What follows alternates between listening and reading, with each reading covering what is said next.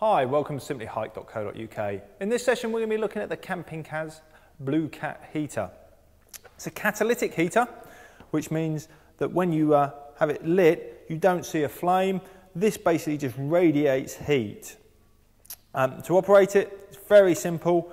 You have these legs, which flick right over.